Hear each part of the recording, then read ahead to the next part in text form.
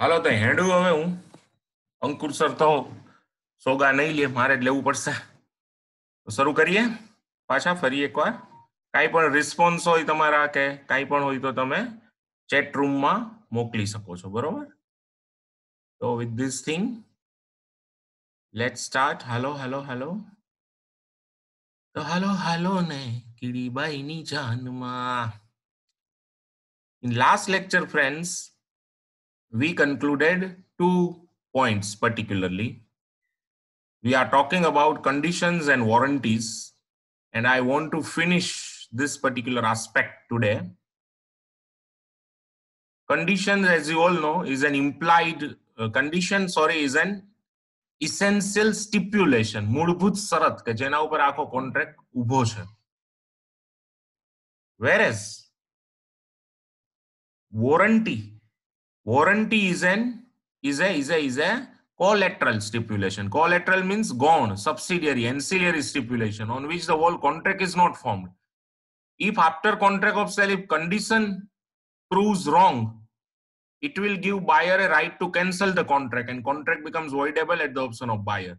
But if after a contract if warranty proves wrong then the buyer cannot make the contract void. The contract is not cancelable at the option of buyer, but buyer can claim the damage. Then in that line and pattern, we have learned that what is implied condition and warranty. Implied condition means what? That the conditions which have not been discussed by seller and buyer at the time of formation of contract. But still, if it is not maintained after contract of sale, buyer will get a right to make the contract void because these conditions are generally implied in every contract of sale. Contract બનાવતી વખતે બાયર અને સેલરને અમુક બાબતે કોઈ સ્પષ્ટતા નહોતી થઈ. તેમ છતાં કોન્ટ્રાક્ટ બન્યા પછી પણ ઈ બાબત તો કન્ટિન્યુ રહેવી જોઈએ. જેમ કે કોન્ટ્રાક્ટ બનાવતી વખતે એવી સ્પષ્ટતા નહોતી થઈ કે ગુડ્સની માલિકી પૂરેપૂરી સેલરની છે. એવી સ્પષ્ટતા ન થઈ હોય તો પણ કોન્ટ્રાક્ટ બની ગયો અને પછી ખ્યાલ આવે કે ગુડ્સ સેલરે ચોરીને બાયરને વેચી દીધો છે તો અહીંયા particularly buyer can claim the price back buyer price claim કરી શકે. આ કેસમાં સેલર કોર્ટમાં એવું આર્ગ્યુ કરે કે બાયરે પૂછ્યું જ નહોતું કે આ ગુડ્સ તારી માલિકીનો છે કે ચોરાવું છે. જો પૂછ્યું હોત તો મેં કીધું હોત કોર્ટ કે ભાઈ આવું પૂછવાનું ન હોય. આના એક્સપ્રેસ પોઈન્ટ નો હોય. આ વસ્તુ જે છે ઇમ્પ્લાઇડ છે. એટલે this is implied see implied એટલે કેવી વસ્તુ કે જે સમજી જ જવાની હોય. એની કોઈ સ્પષ્ટતા ન હોય. ગાંઠિયા લેવા જાય તો એ સમજી જ જવાનું હોય કે મરચા સંભારો ભેગો આવશે જ. એ ગાંઠિયાવાળાને આપણે પૂછી, તો ઓલા ગાંઠિયા તળવાનો ઝારો લઈને આપણી પાછળ દોડે કે ભાઈ આ હવાર હવારમાં ઘરાકી ટાણે કોઈક મસ્તી કરવા આવ્યો.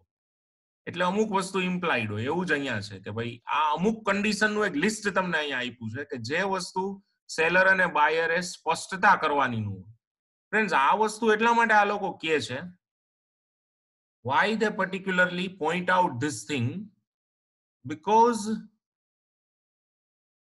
something is very very important over here that in every contract of sale i tell you understand today one point that in every contract of sale there is a rule which is applicable and it is known as buyers beware કારણ કે અહીંયા implied કન્ડિશનની discussion એટલે કરવી પડે છે કારણ કે દરેક કોન્ટ્રાક્ટ ઓફ સેલમાં એક રૂલ તો બાય ડિફોલ્ટ એપ્લાય થાય છે અને that is buyers beware in short we can say buyer be aware જાગો ગ્રાહક જાગો અને એ જાગેલો જ હોવો જોઈએ હંમેશા એટલે એને આપણે સતત કહેવાનું નથી જાગતે રહો જાગતે રહો નહીં જાગેલો જ હોવો જોતું એને જાગૃત જ રહેવાનું છે એનો મતલબ એ છે કે whenever we go to purchase anything you know we need to ask thousand questions to seller or we should ask rather thousand questions to seller. We should check the product from every angle. We should analyze the product meticulously before purchase. Before purchase, we need to check each and everything. If we want to ask questions before purchase, we need to ask perhaps lakhs of questions to seller and he is bound to reply. But it is our duty as a buyer, it is our duty to check the product from all the angles to analyze the product meticulously, to ask lakhs of questions to seller and satisfy ourselves that the product is proper, product is qualitative, product is fit and suitable for our purpose. If after purchase means after satisfying ourselves, if we purchase the product, and if after purchasing the product, that means after the contract of sale has taken place, and as a buyer, we have become the owner, we have got the property. If after obtaining the ownership, if the product proves to be defective, then then as a buyer we cannot rescind the contract and we cannot claim the price back. Here the seller is never bound to give the price back to the buyer. It means buyers beware. Caveat emptor. Buyers beware. Kharidnar saudhan this is in gujarati. You know what we call kharidnar સાવધાન buyers Caveat, Emptor, Kanya કન્યા પધરાવો sorry કન્યા પધરાવો નહીં પણ ખરીદનાર સાવધાન સાવધાન ખરીદનાર જો વિશ્રામ રહ્યો ને તો એ કોન્ટ્રાક્ટ ને વિશ્રામ આપી શકશે નહીં. પછી કોન્ટ્રાક્ટ એને નિભાવવો જ પડશે જો ગુડ્સ એના માટે બરોબર નહીં હોય તો. Once again friends buyers beware. The concept says that before purchasing any goods from seller, buyer need to check the product from various angles. Buyer need to analyze the product meticulously. Buyer needs to ask thousands or lakhs of questions to seller. It means buyer must satisfy himself that whether the product is qualitative or not, whether the product is suitable for the purpose for which he is willing to buy the product or not after satisfying himself at that juncture if buyer purchases the product and later on if he finds that the product is not qualitative product is defective product is not suitable for the purpose for which he bought it and if he asks seller to keep the product back and ask the seller to pay the price back seller is not at all bound seller is not at all bound. It means buyer has to make various express clarifications at the time when he purchases the goods.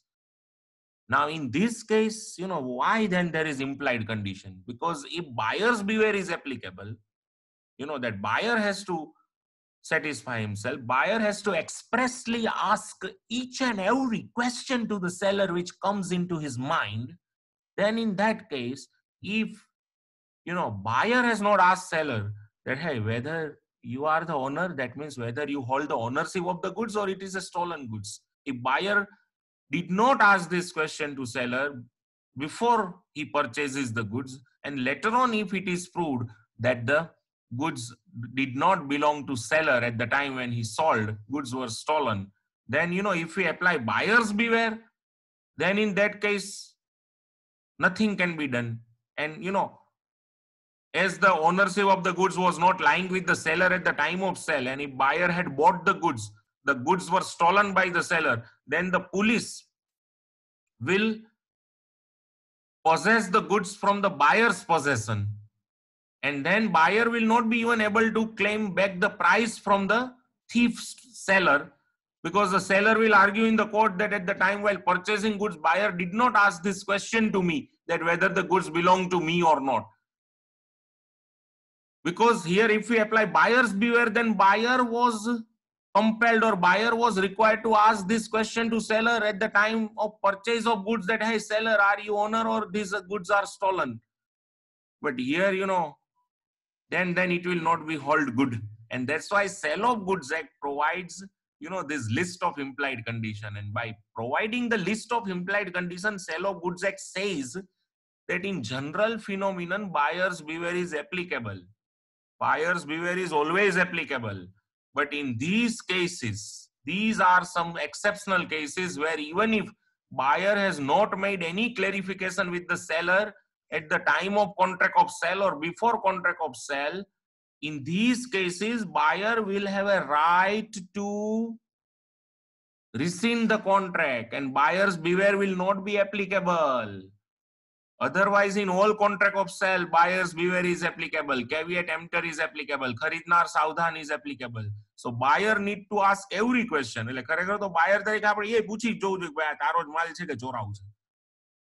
આ goods તું જે description કરે સોનેરી ટુકડા એ સોનેરી ટુકડા જ આવશે ને જો સોનેરી ટુકડા સિવાય કઈ આવશે તું પાછો દઈ દઈશ. આ બધું જો કોન્ટ્રાક્ટ ઓફ સેલ વખતે કહી જ દે તો તો કોઈ પ્રશ્ન નથી બધું કોન્ટ્રાક્ટમાં જ પ્રોવાઈડ થયેલું છે. પણ આવી સ્પષ્ટતાઓ કોન્ટ્રાક્ટ ઓફ સેલ વખતે નો થાય.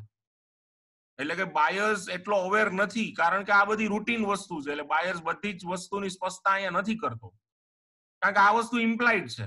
આવના જેવું છે કે ભાઈ ગાંઠિયા મગી તો મરચાને સંભારો મળે, એટલે એઝ અ બાયર આપણે જયારે ગાંઠિયા લેવા જાય ત્યારે એ ચર્ચા નથી કરતા એની યારે. ભાઈ સંભારો ને મરચા આવશે જ નહીં, આવવાના જ છે. એમ જયારે બાયર અહીંયા સેલર પાસે ગુડ્સ પરચેસ કરવા જાય તો એને પૂછતો નથી. બાયર્સ બિવેર છે જ ઓલવેઝ પણ તોય બાયર નથી પૂછતો. કે ભાઈ આ વસ્તુ તારી જ છે ને તારી જ માલિકીની છે ને અથવા તો ડિસ્ક્રિપ્શન પ્રમાણે જ માલ આવશે કે નહીં આવું બાયર પૂછતો નથી અને પછી જો એમાં કઈ પ્રોબ્લેમ થાય છે એટલે after contract of sale if the goods did not belong to seller at the time when he transferred the ownership and seller stole these goods from somewhere then even if even if the buyer has not asked any question to the seller with regards to the ownership of the seller buyer is entitled to claim price back from the seller because it is implied it is implied આ વસ્તુ એક્સપ્રેસલી નો mention કરવાની હોય buyers beware નો લાગુ પડે buyer seller પાસેથી price claim કરી શકે. કારણ કે હવે એ વસ્તુ સેલરની નહોતી. સેલર ચોરીને લઈ આવ્યો હતો એટલે after contract of sale buyer પાસેથી વસ્તુનું પોઝેશન પોલીસ પાછી લઈ ગઈ. તો બાયર સેલર પાસેથી પ્રાઇસ ક્લેમ બેક કરી શકે. સેલર કોર્ટમાં એમ ન કહી શકે કે at the time of contract of sale buyers beware was applicable and buyer did not ask a question about ownership બાયરે પૂછી લેવું જોઈએ. બાયરની ફરજ હતી. કોર્ટ કહેશે ના એ વસ્તુ ઇમ્પ્લાઇડ છે. બાયરે નથી પૂછ્યું. તોય ઈ જેમ પિઝાની આરે કેચઅપ મળે, જેમ ગાંઠિયાની આરે સંભારો મરચા મળે, એવી જ ઇમ્પ્લાઇડ વસ્તુ છે અને આની સ્પષ્ટતા ન હોય. એવી જ રીતે જ્યારે સેલર ડિસ્ક્રિપ્શનથી ગુડ્સ વેચે, તો આ કેસમાં જ્યારે ગુડ્સની ડિલિવરી મળે ત્યારે ઇમ્પ્લાઇડ છે કે ડિસ્ક્રિપ્શન પ્રમાણેની જ ડિલિવરી થવી જોઈએ. ભલે બાયરે સેલરને કોન્ટ્રાક્ટ ઓફ સેલ વખતે આવું પૂછવું પડે કે ભાઈ તું સોનેરી ટુકડાની હજાર ગુણી કેસ અને પછી ડિલિવરી સોનેરી ટુકડાની ન થઈ તો હું પાછું મોકલી દઈશ આવી કોઈ સ્પષ્ટતા બાયરે કરેલી નથી. બાયર્સ બિવેરનો ભંગ કર્યો છે તો પણ જો ડિસ્ક્રિપ્શન પ્રમાણે સેલરે ગુડ્સ વેચ્યો અને બાયરને ડિલિવરી મળે જ્યારે, ત્યારે એ ગુડ્સ ડિસ્ક્રિપ્શન પ્રમાણેનો ન હોય તો બાયર એ પાછો મોકલી શકે કારણ કે એ વસ્તુ ઇમ્પ્લાઇડ છે. એટલે એને ઇમ્પ્લાઇડ કન્ડિશન કીધી છે. બાકી તો બધા બાયર્સ બિવેર જ એપ્લાય થાય છે. Buyers be aware. Ask thousand questions. Check the product from all the angles. Analyze the product meticulously. Satisfy completely completely satisfy yourself before purchase of product. After contract of sale if you will come and you know start raising various complaints then we are not gonna listen. You know seller will bluntly tell to the buyer it was your duty before purchase or at the time of purchase or at the time of making and formation of contract of sale. It was your duty to raise various questions to ask about the quality of the product to ask about the usability of the product to even convey your own purpose for which you are willing to purchase the product. And then, after satisfying from all the angles, if you had bought the product, then we were responsible and accountable to you, but otherwise not. You know, it's your duty to check, it's your duty to analyze, it's your duty to ask. Seller is not, please remember, seller is not bound to declare all the defects of the goods that he is selling સામેથી એની defect બતાવવા માટે એ બેઠો નથી ત્યાં એની ફરજમાં પણ નથી આવતું આ આ કન્સેપ્ટ તમે ભણી ચૂક્યા છો silence as a fraud if you remember that silence is never a fraud silence of the seller is never a fraud unless there is fiduciary relationship or unless seller is under a duty to speak contract of abarmai fidai and all that concept is connected with over here that seller is not bound on his own to declare the defects of the product unless buyer asks him about the quality of the product, he is not bound. And that's why buyer's beware is applicable. But yeah, if the goods are suffering from the latent defect, chupi defect, then seller is bound to declare the defect within the product, even if buyer does not ask. Like defective sari cell, like second knee vitrified tiles. આ વસ્તુ તમને મેં સમજાવી So in that case, particularly if we analyze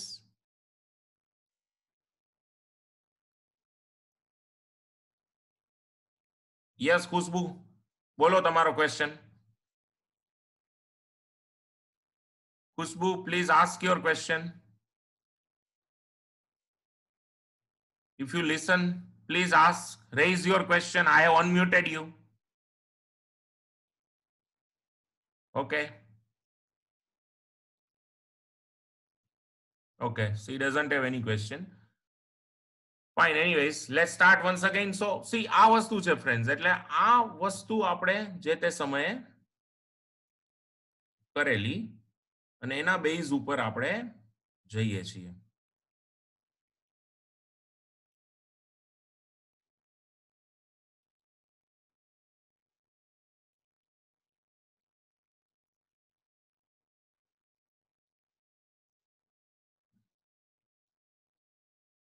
Yes, friends. Once again, welcome. In last lecture, we con- concluded two main conditions, two main implied condition. Number one is condition as to title, and number two is condition as to description. Now, let us start with the third implied condition. It is condition as to quality or fitness. Let me again tell you. Buyers be aware. Buyers beware. Visra, sorry, Karidnar, Saudhan. And as buyer's beware is applicable, it is a duty of the buyer to check whether the product is qualitative or not, whether the product is fit for the purpose for which he is purchasing the product or not, whether the product is free from the defect or not. That is the duty of the buyer to check. And buyer has to ask lots of question to seller before purchasing. And so friends, let me tell you, there is never any implied condition as to quality or fitness, because buyers beware is applicable. કોઈ વસ્તુ તમે purchase કરો એ qualitative છે કે તમારા purpose માટે fit છે કે નહીં, તમારે ચેક કરવાનું. એટલે ઇમ્પ્લાઇડ નો એ એક્સપ્રેસ જ હોય. આપણે જેમ એક સિમ્પલ તમને સમજાવું ક્વોલિટી એન્ડ ફિટનેસની વાત આવે ને, એક જ યાદ કરો રેડીમેડ ગાર્મેન્ટ્સ હવે રેડીમેડ ગાર્મેન્ટ્સ તમે લેવા જાવ તો ટ્રાયલ રૂમ હોઈ શકે નહીં ત્યાં? શું કામ ભાઈ ટ્રાયલ રૂમ રાખ્યા છે? ટ્રાયલ રૂમ એટલે રાખ્યા છે કે તમે આમ એમને ખાલી આમ બારોબાર જોઈ શકો કે શું છે, બરોબર છે કે નહીં? આપણે નથી ઘરે ઘણી વાર કેમ જોતા કામ ટી શર્ટ આમ આપણા બે હાથે પકડીને રાખી આમ ગળા સુધીને ચેક કરીએ કે આ મને કેવું લાગે. એટલે નથી. તમે એ પુટોન જ કરો. એ પર્ટિક્યુલર શર્ટ ટ્રાઉઝર પહેરી અને ચેક શું કામ કરવું પડે? ભાઈ ફિટિંગ બરોબર છે કે નહીં? ઘણી વાર કમરેથી ફિટ થઈ ગયું હોય તો લંબાઈ વધારે હોય. તો એ તમને કહેશે કે ભાઈ ઓલ્ટરેશન કરી દઈશ તમને. અને એટલા માટે અને એટલે આ બધું આપણે ચેક કરવું પડે ને. આપણે લઈને આવીને પછી ફિટ નો નીકળે તો એ ચલો બદલાવી દઈએ છીએ પછીની વાત છે, કારણ કે એ પર્ટિક્યુલર બિઝનેસમાં એ કસ્ટમ છે. પણ મોટા ભાગે આપણે શું કરવું પડે? Before we purchase we must check that whether it is fit or not અને એટલા માટે ક્વોલિટી પ્રોડક્ટ પ્રોપર છે કે નહીં? Whether the product is qualitative or whether is fit for your purpose the purpose for which you are purchasing is not the duty of the seller to point out or is not the duty of the seller to remind you that my please uh, check the quality or please check whether it is fit for your purpose. It is a buyer's duty to check. So buyer has to check this thing that the whether the product is qualitative or whether the product is fit for the purpose for which the same has been bought. It's a duty of the buyer to check each and everything. And that's why friends i must tell you once again that there is never implied condition there is never implied condition as to quality or fitness. Implied condition as to quality or fitness generally does not exist because buyers beware exist. So buyer has to check whether the product is qualitative. Buyer has to check whether the product is fit for the purpose for which he is purchasing. It's a duty of the buyer to check the product from all the angles but in some exceptional cases this quality or fitness becomes implied condition but rather you know in, in in the cases which are called exception to the rule and first of all let us analyze the first case that you know આ કોના જેવું છે કે if the buyer has expressly or by implication makes known to the seller please analyze this point point from this please analyze this point see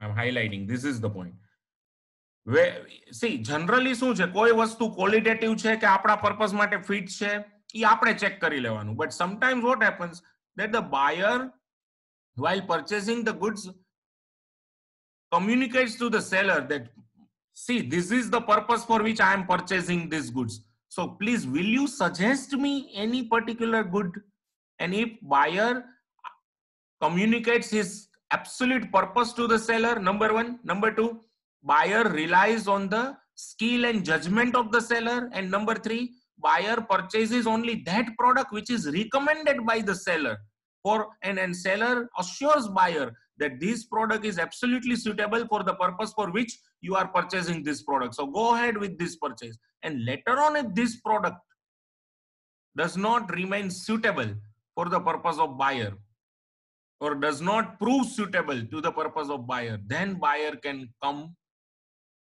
again to the seller and can give the product back and can claim the price back. That means buyer can cancel the contract. That otherwise there is never a condition as to quality or fitness. Condition as to quality and fitness is never implied because buyer's beware is applicable. Buyer has to check whether the product is qualitative. Buyer has to check whether the product is fit for the purpose for which he is purchasing. But if buyer communicates the whole purpose, the sole purpose of purchasing the product to the seller, Number one. Number two, buyer relies completely on the skill and judgment of the seller. And number three, buyer purchases only that product which the seller recommends and seller assures that this product will definitely prove suitable for the purpose for which you are purchasing. Then in that case, if later on, if that product does not prove satisfactory to the buyer or does not suit the purpose for which buyer bought, after recommendation of the seller then buyer can cancel the contract otherwise you know it's a buyer's duty to check that whether the product is qualitative and whether the product is fit for the purpose for which he is purchasing એક common example હું generally આપતો હોઉં છું અને છે ને એટલે આપણે જ્યારે પ્રોડક્ટ લેવા જાય અને જો કોઈ પર્ટિક્યુલર યુઝ માટે પ્રોડક્ટ હોય ને તો આપણે એ સેલરને કેવું જોઈએ અધરવાઇઝ આપણે આપણી રીતે પ્રોડક્ટ લઈને આવીએ તો સેલરને ખબર ન હોય કે તમે એ પ્રોડક્ટ શેના માટે લ્યો છો એક બનેલી વાત તમને કહું કે અમરનાથ યાત્રા વખતે અમે લોકો ગયા તો ગોપાલ સ્ટોર્સ, રાજકોટમાં ગોપાલ બ્રધર્સ એટલે રાજકોટની જૂનામાં જૂની મોસ્ટ રિલાયબલ શોપ એની એડવર્ટાઇઝ નથી કરતો, પણ સાચી જ વાત છે. જુબેલી રોડ ઉપર MG road, Mahatma Gandhi road ઉપર, જુબેલી બાગ પાસે જે ઓલી બધી બધી શોપ છે ને ખરેખર રેફ્યુજીને એલોટ થયેલી. નાઇન્ટીન ફોર્ટી સેવન પછી જે લોકો આવ્યા કરાચીથી ને એમ આપણે રાજકોટમાં એ બધા લોકોને એક મોટો પ્રશ્ન, યક્ષ પ્રશ્ન શું હતો કે ભાઈ કમાવું શું? બધા ન્યાના કરોડોપતિ, અબજોપતિ. ઈ જમાનાના. અને પોતાના મોટા મોટા ચાર ચાર પાંચ પાંચ માળની કોઠી કે એ લોકો પંજાબમાં અને સિંધમાં છે ને મોટા મકાનને કોઠી કહેતા એટલે કોઠી મૂકીને અહીંયા આવેલા. અત્યારે જો એ સિરિયલ લોકડાઉનના સંદર્ભમાં ચાલે છે રાત્રે જોવી હોય તો જોજો સાડા દસે બુનિયાદ. એ સ્ટોરી બહુ એને પ્રોપરલી એમાં હા. હા ભલે હો ઓકે. તો આ કેસમાં પર્ટિક્યુલરલી આ જે શોપ્સ છે બધી જુબેલી બાગ પાસે, એ આ રેફ્યુજીને એલર્ટ થયેલી છે. એમાં ગોરધન ચેવડા વાળા છે, એ રેફ્યુજી છે. એ કરાચીથી ચેવડા વસ્તુ જ ખરેખર તો સિંધની છે આપણી છે જ નહીં, ગુજરાતની. ભાગલા પછી આપણે એનું નામ સાંભળ્યું, ચીવડા, જેને આપણે રાજકોટમાં ચેવડા કહી છે એ બધાને ત્યાં શોપ્સ અલોટ થઈ અને એમાં પછી બધા જ રેફ્યુજી પોલીસ ચોકીની બાજુથી શરૂ થાય છે ઓલો ચીપેસ્ટ સ્ટુડિયો અને આઝાદ ગોલા સુધીની જાય છે, એ બધા રેફ્યુજી છે. જે હવે અત્યારે તો રેફ્યુજી નો કહેવાય, અત્યારે તો આપણા જ ભાઈઓ છે. કારણ કે હવે તો સિત્તેર વર્ષ થયા, બોતેર વર્ષ થયા એ વાતને. તો એમાં એક ગોપાલ બ્રધર્સ છે, તો એ લોકો કરાચીથી આવ્યા સિંધી છે. પણ મોસ્ટ રિલાયબલ કે ભાઈ રેટ વાઇઝ કેમ કોઈ આપણે ત્યાં છેતરાય નહીં. તો એની પાસે અમે જનરલી જાય. અને એને મેં કીધું, ભાઈ, મને મોજા આપો તમે. સોક્સ જોઈ છે હવે મેં એને શું કીધું? મને સોક્સ આપો અને એને જે આપ્યા મેં ત્રણ પેર પસંદ કર્યા. પછી અમે જયારે અમરનાથ યાત્રા ગયા તો અમરનાથ યાત્રામાં પવિત્ર ગુફા ના લગભગ બે કિલોમીટર પહેલા તમારે શૂઝ ને બધું કાઢી નાખવું પડે. એટલે અમે કાઢીને પછી ચાલતા થયા તો જે સોક્સ પહેરેલા હતા એ તો હવે ત્યાંથી બે કિલોમીટર સુધી છે. જે પાથ છે એ આખો બરફીલો હોય. એટલે બરફ ઉપર હાલવાનું આવે. તો એ સોક્સ જે છે એ તરત ભીના થઈ ગયા અને લોંદા થઈ ગયા. અને પછી તો ઉલટાના લપસણા થઈ ગયા, એટલે હાલવામાં તકલીફ પડે એવા થઈ ગયા. એટલે એ કાઢીને પછી ઠંડા બરફીલા પાથ ઉપર આપણે ઉઘાડા પગે હાલવું પડ્યું. અને માન માન પહોંચ્યા ત્યાં અને દર્શન થયા. તો પછી વળતા આવીને મેં કીધું કે યાર તમે આ મોજા કેવા આપ્યા મને? મને કે કા શું થયું? મેં કીધું યાર બે કલાક હાલવું પડ્યું, એમાં વચ્ચે અડધો કિલોમીટર, બે કિલોમીટર હાલવાનું હતું. અડધો કિલોમીટર આવેલા એમાં તો કાઢી નાખવા પડ્યું. ક્યાં આવેલા કીધું, અહીંયા. મેં કીધું, ત્યાં. આપણે ઓલી છાવણીથી પવિત્ર ગુફા સુધીનો બે કિલોમીટરનો રોડ હતો, મને ઘરે યાર ભલામણ બહુ કરી. તમારે ખાલી એટલું મને કેવું હતું ને કે અમરનાથ યાત્રા માટે તમારા મોજા આખી કીટ છે જો મને બતાવી આખી કીટ છે કે અમરનાથ યાત્રામાં તમારે આ કીટ ભેગી રાખવાની. એમાં એ કે જે સોક્સ આવે ને, મોજા આવે ને એ એનું જે નીચેનું પગના તળિયાનું જે પોર્શન હોય ને એ અમે પ્લાસ્ટિકથી મઢેલો આપીએ કોઈ દિવસ પ્રોબ્લેમ ન થાય. બાકી ઉપર એ કે ઉલન હોય આખું એટલે તમને ઠંડી ન લાગે અને ભીનાઈ ન થાય. પણ તમારે કેવું તો જોઈએ ને મને મોજા લેતી વખતે કે મારે અમરનાથ યાત્રા માટે આ મોજા જોઈ છે એનો મતલબ કે કોઈ વસ્તુ ક્વોલિટેટિવ છે કે ફિટ છે આપણા પર્પઝ માટે એ તો આપણને ખબર હોય કે આપણે પર્પઝ કયો છે. તો આપણે સેલરની કન્વે તો કરવો જોઈએ ને કન્વે ન કરો અને તમે એ વસ્તુ લ્યો અને પછી તમારા માટે ફિટ ન હોય તો સેલરી બદલાવી દેવા બંધાયેલો નથી. એટલે બાયર કોન્ટ્રાક્ટ કેન્સલ કરે નહીં અને એટલા માટે generally condition as to quality and fitness implied condition તરીકે ગણવામાં આવતી નથી. એનું કારણ શું છે કે buyer knows the purpose for which he is purchasing the product and for that purpose whether the product is qualitative or fit that is actually as, at the time of making contract of sale it is known only by one party buyer and if buyer does not convey this thing to seller then how seller can come to know and then in that case buyer's beware is applicable so buyer has to on his own check that whether the product is suitable for his purpose but if if હવે આ જ કેસમાં જો મેં ગોપાલ બ્રધર્સમાં મોજા લેતી વખતે એને કહી દીધું હોત પહેલે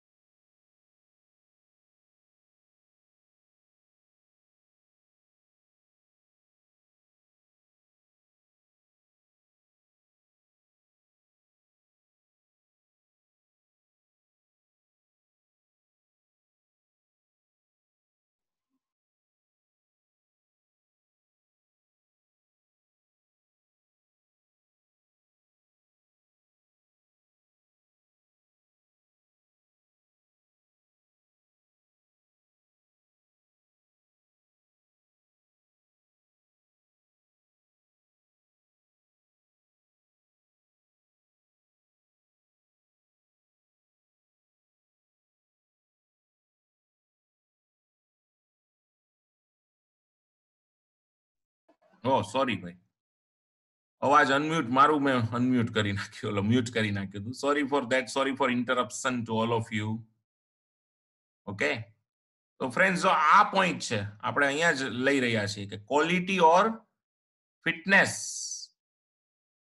condition as to quality or fitness હું ક્યારનો આ સમજાવી રહ્યો હતો, પણ હવે ઈ કદાચ તમને નહીં સંભળાણું હોય. ફરીથી આપણે લઈએ છીએ, કોઈ ઇસ્યુ નથી ફ્રેન્ડ્સ આપણે દીના દુકાળ નથી અને ટાઈમની કમી નથી.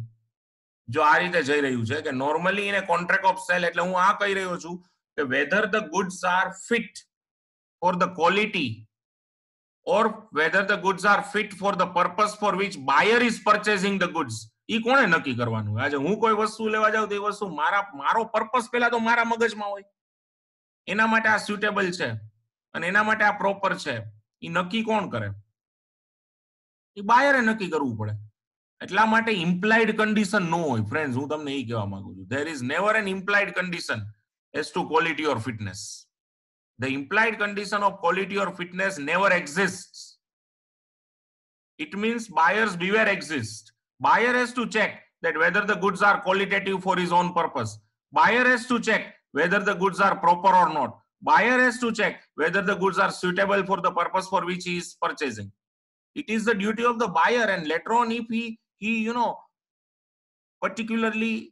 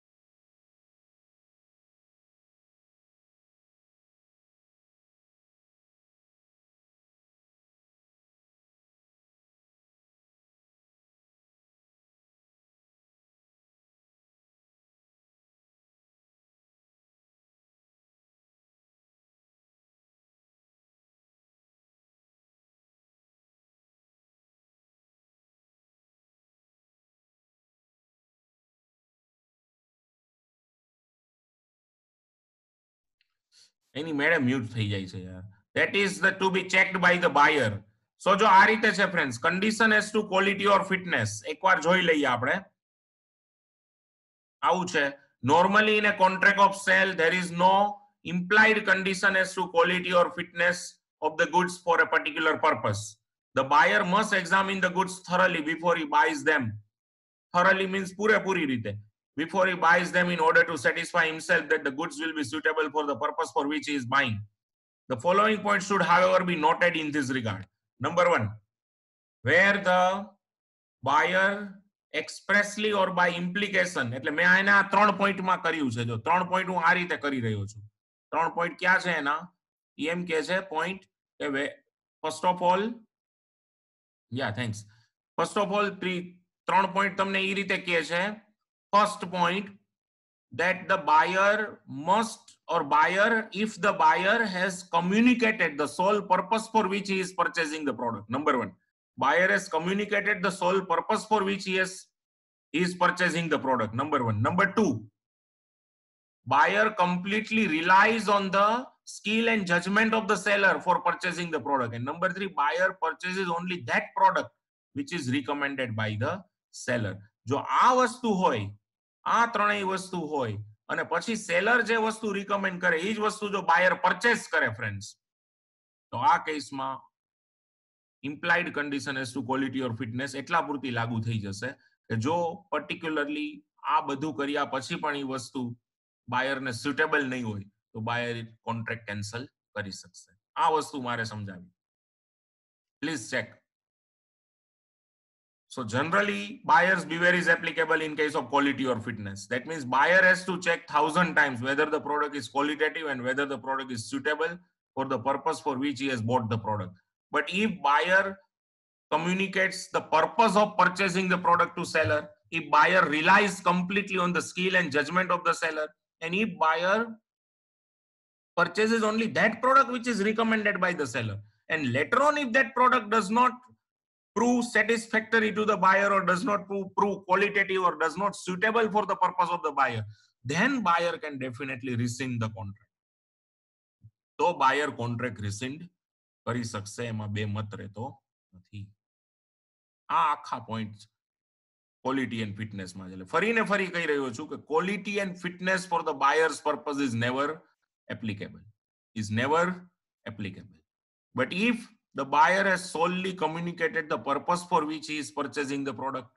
Buyer has relied completely on the skill and judgment of the seller, and buyer purchases only that product which has been bought by the seller, which has been, sorry, recommended by the seller. Then condition as to quality and fitness will apply. And if afterwards, if the product does not prove qualitative or does not prove suitable to the purpose of the buyer, then buyer can cancel the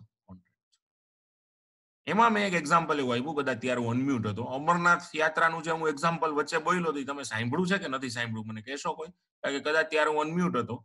તો અમરનાથ યાત્રાનો એક hypothetical example મેં આપ્યું હતું. એવું કઈ સાંભળ્યું છે સોરી સંભળાઈ ગયું. હા. બધાને સંભળાતું હતું ત્યારે? હું તો સંભળાવું કેટલું સંભળાવું છું પણ તમે સાંભળ્યું તો સરસ ચાલો યસ યસ વેરી ગુડ ચલો તો અમુક ક્યારેય એની મેળે ઓટો મ્યુટ થઈ ગયું હતું એ મારા ધ્યાનમાં ન રહ્યું, વચ્ચે ક્યારેક. કઈ વાંધો નહીં. હા ગોપાલ વાળું યસ યસ સરસ. ચલો તો. એટલે એમાં મારે મેં એનો પર્પસ કીધો કોઈ મારે આના માટે. એટલે તમે કયા પર્પસ માટે વસ્તુ લ્યો છો એ તો તમારે કેવું પડે ને. આજે તમે સે ફોર એક્ઝામ્પલ સ્વેટર લેવા જાવ તો તમારે એને કહી દેવું જોઈએ મારે મામાની ઘરે અમેરિકા જવાનું છે અમેરિકામાં આલાબામાં. આલાબામાં એક એવું સ્ટેટ છે કે જે બારે માસ એટલું ઠંડુ હોય છે. તો એને કહી દેવાય તમારી શોપ ભાઈ, અમેરિકા જવું છે ને આલાબામાં જવું છે. એટલે એ કે તો ભાઈ તમે ફરનું સ્વેટર છે એ જ લઈ જાઓ, બીજું એ કઈ નહીં હાલે. પછી ત્યાંથી એક બીજું લઈ લેજો. અહીંના સ્વેટર ત્યાંનું હાલે. પણ એ આપણને આપણને એમ કે આપણે એને કહી જ નહીં ને એકાદું મોન્ટે કાર્લોનું ડિઝાઇનર સ્વેટર તમે લઈને જાઓ ને પછી ત્યાં ઠૂઠવાઈ જાવ ને ઠીંગરાઈ જાવ તો એમાં વાંકી દુકાનદારનું નથી. તમે પાછા આવીને એને કહો તો એ તમને કહેશે ભાઈ તમારે સેના માટે સ્વેટર જોતું હતું અમને થોડી ખબર હોય. એ કાંઈ થોડો દુકાનદાર અંતર્યામી છે કે તમે સામેથી હાઈલા આવતો તને ખબર પડી જાય આવડાનો વિઝા આવી ગયા છે. અને નેક્સ્ટ વીક મુંબઈ થી સીધી કેલિફોર્નિયાની ટિકિટ છે. એમને મને ખબર તો ન પડે ને એ વસ્તુની. એટલે તમારે કેવું પડે તમે કયો નહીં ને કોઈ વસ્તુ લઈ લ્યો ને ફ્રેન્ડ્સ તો એ વસ્તુ ક્વોલિટેટિવ છે કે ફિટ છે તમારા પર્પઝ માટે. એ જોવાની જવાબદારી સેલરની નથી. હા, તમે કયો તમારો પર્પસ સેલરને પેલું પછી સેલર છે તમને, અને તમે કમ્પ્લીટલી સેલરને કહી દો હવે તમારા શરણે છું તમે જે કહેશો એ જ વસ્તુ લઈશું, કારણ કે મને આ બાબતમાં ખબર ન પડે. એટલે you rely completely on the skill and judgement of the seller અને પછી સેલર જે પ્રોડક્ટ રિકમેન્ડ કરે એ તમે પરચેસ કરો. અને પછી પ્રોડક્ટ સુટેબલ ન નીકળે, તો તમે કોન્ટ્રાક્ટ કેન્સલ કરો. તો એટલા પૂરતી ઇમ્પ્લાઇડ કન્ડિશન શું ક્વોલિટી એન્ડ ફિટનેસ લિમિટેડ વેમાં લાગુ પડે. બાકી કોઈ દી પડે નહીં. બાકી બાયર જ ચેક કરવાનું. એટલે બાયર્સ બિવેર જ એપ્લાય પછી બીજો પોઈન્ટ એમાં એવો છે કે ઘણીવાર છે ને, થાય છે કેવું? સેકન્ડ પોઈન્ટ ઈ છે.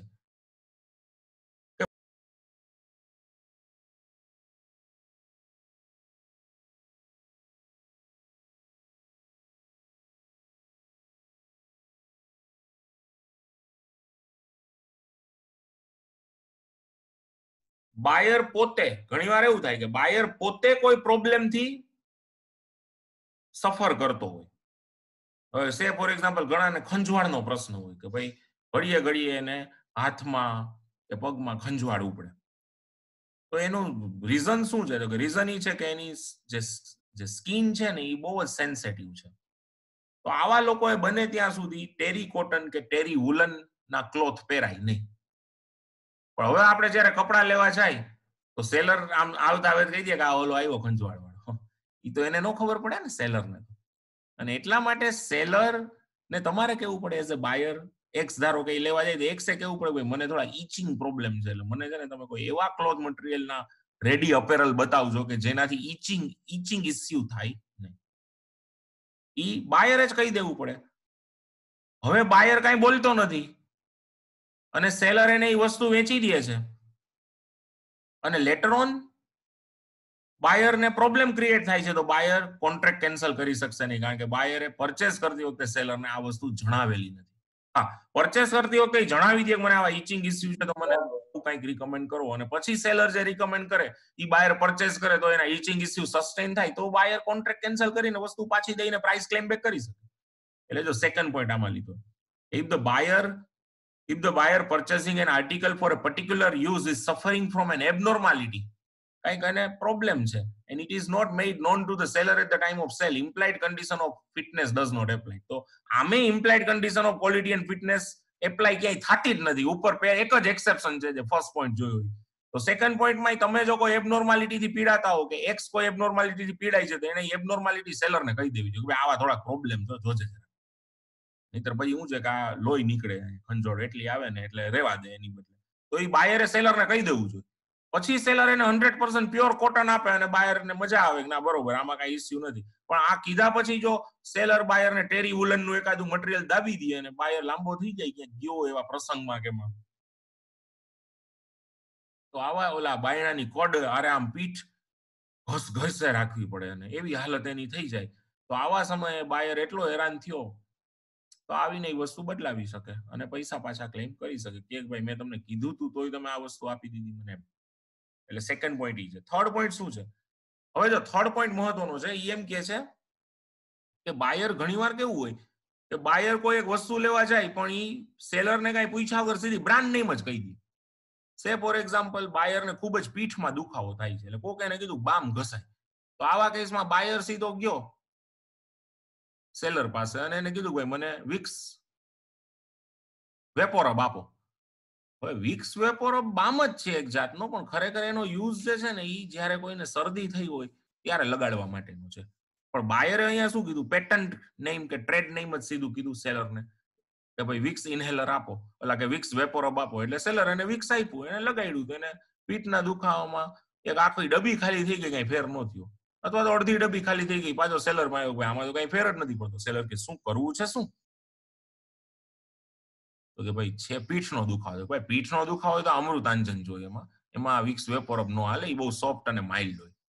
તો આનો મતલબ એ થયો અગેન કે બાયરે પણ શું કર્યું? સીધી પેટર્ન કે બ્રાન્ડ નેમ જ કીધી કે ભાઈ, મને વિક્સ આપો, મને નાઇક આપો નાઇકીના જો અમરનાથ યાત્રામાં અગેન બીજો એક્ઝામ્પલ જવું હોય તો એમાં નાઇકીના કે એડિડાસના કે રિબોકના નો હાલે. એમાં યુનિસ્ટારના જ હાલે.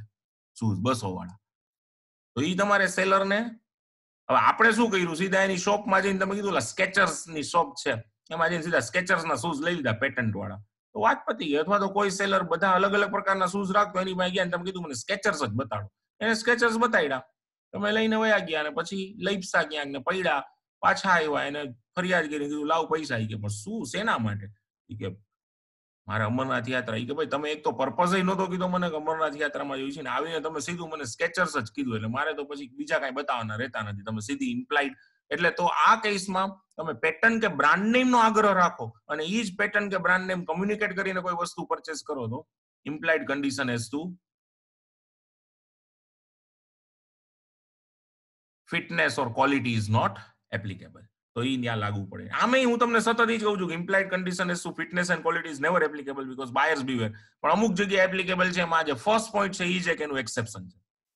તો આ વસ્તુ પ્લીઝ ધ્યાનમાં રાખો. એટલે પેટર્ન કે બ્રાન્ડ નેમ આપણે સીધી જઈને કહીને તો implied condition is to quality and fitness is not applicable at all air કન્ડિશનિંગમાં ઘણી વાર એવું થાય છે કે ઘણા એર કન્ડિશનિંગ છે ને એ યુરોપના અમુક કોલ્ડ એરિયા માટે જ બનેલા છે કે ત્યાં જ્યારે સમર આવે એપ્રિલ, મે, જૂનમાં.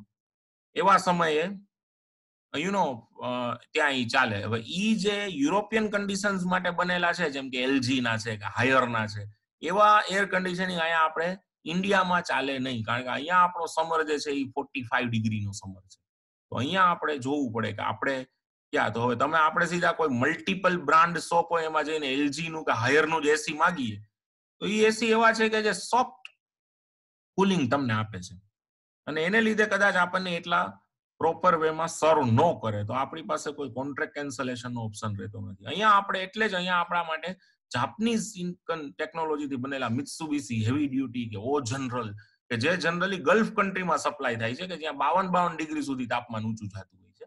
એવા આપણે ભારતમાં તો એની આપણે બ્રાન્ડ નેમ કોઈ વસ્તુ પરચેસ કરીએ ને તો આ કેસમાં વસ્તુ ક્યારેય પાછી દઈ શકાશે નહીં. એટલે કે ક્વોલિટી ઓર ફિટનેસની ઇમ્પ્લાઇડ કન્ડિશન રહેશે નહીં. એ પણ એક પોઈન્ટ યાદ રાખો. અને હવે છેલ્લો પોઈન્ટ છે આનો. In case goods can be use for હા આ એક જરૂરી છે કે ઘણીવાર મલ્ટીપર્પઝ ગુડ્સ હોય. the goods are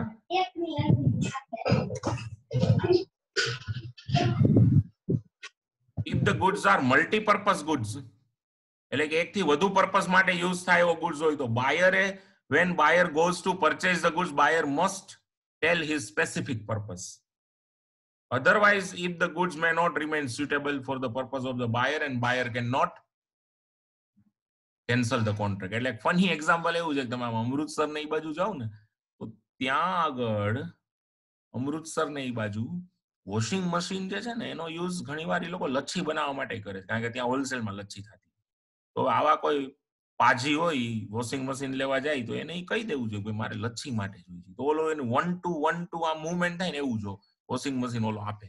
જેથી કરીને એને લચ્છી એમાં બની જાય ઈઝી પછી એ લઈ જાય ને પછી એમ કે ભાઈ આમાં જામતું નથી કાંઈ લચ્છી હરખી.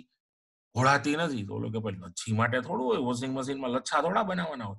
કે ના, એવું નથી કે મારે તો એના માટે જ જોતું. કે તો તમારે જ્યારે આવ્યા ત્યારે કહી દેવું જોઈએ. બાકી જનરલ સેન્સમાં વોશિંગ મશીન બધા કપડાં ધોવા માટે. પણ હવે એનો બીજો પર્પઝ છે કે ભાઈ લચ્છી બનાવી. તો મલ્ટીપર્પઝ થઈ ગયું ભાઈ તો લચ્છી બનાવવા માટેનું જોતું હોય તો એને પરચેસ કરતી વખતે કેવું છે આને લચ્છી બનાવવાની. લચ્છી એટલે ઓલી દોરાની નહીં આપણે પતંગ દોરાવાળા દોરાની, પણ પીવાની લચ્છી. તો એ કઈ બનાવી છે એ તમારે પહેલેથી એને કહી દેવું જોઈએ. એટલે એક કોઈ પણ વસ્તુ એકથી વધારે યુઝમાં વપરાતી હોય તો તમે ક્યાં યુઝ માટે એ વસ્તુ પરચેસ કરો છો? એના આધારે એની ક્વોલિટી તમને પાસ ઓન થાય. તો એ પર્પઝ સ્પેસિફાઈ કરીને બાયરે બિફોર પરચેસ કહી દેવો જોઈએ તો જ એ વસ્તુ પર્ટિક્યુલરલી પ્રોપર રહેશે હવે પરચેસ કરી લઈએ પછી એને જે પર્પઝ માટે એ વસ્તુ જોઈ છે પર્પઝ માટે સુટેબલ ન નીકળી તો એ કોન્ટ્રાક્ટ કેન્સલ કરી શકશે નહીં because he fail to communicate the exact purpose and the product is multi-purpose or multi-usable product. So friends, અહીંયા mostly implied condition as to quality ને ફિટનેસ હું પૂરી કરું છું. એની સાથે આજનું લેક્ચર હું વિરામ આપું છું. આપણે આવતીકાલે ફરીથી એક નવા પોઈન્ટથી શરૂ કરીશું. તો અહીંયા ત્રણ ઇમ્પ્લાઇડ કન્ડિશન છે. આમાં થોડુંક વધારે ડિસ્કશન એટલે કે આની યારે થોડુંક બાયર્સ બિવેર પણ વણી લેવું પડ્યું મારે. અને એને લીધે થોડુંક ડિસ્કશન જે છે એ સ્ટ્રેચ થયું છે. તો અહીંયા સુધી આજે રાખીએ. અને આવતીકાલે પછી ફરીથી પાછા આપણે એમાં આગળ વધીશું અને બાકીના પોઈન્ટ્સ બધા પૂરા કરવાની ટ્રાય કરીશું. I hope that all of you enjoyed હવે લગભગ પાંચ જ મિનિટમાં તમારું એક નાનું કંપની અકાઉન્ટ્સનું લેક્ચર ચાલુ હશે આવજો બધા.